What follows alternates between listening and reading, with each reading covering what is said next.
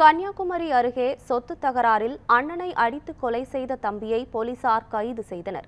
குருந்தன்கோட்டையை அடுத்த வர்த்தக நாடார் குடியிருப்பைச் சேர்ந்த நாற்பத்தி ஓரு வயதான சிவகுமாருக்கும் இவரது தம்பி கதிரவனுக்கும் பூர்வீக சொத்தை பறிப்பது தொடர்பாக முன்விரோதம் இருந்து வந்துள்ளது.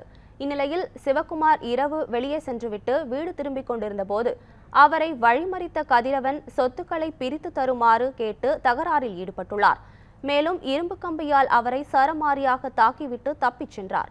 படுகாயமடைந்த சிவகுமாரை பொதுமக்கள் மீட்டு மருத்துவமனைக்கு அனுப்பி வைத்தனர். எனினும் சிகிச்சை பலனின்றி சிவகுமார் உயிரிழந்தார். இதையடுத்து கொலை வழக்கு பதிவு செய்த போலீசார் தலைமறைவாக இருந்த கதிரவனை கைது செய்தனர்.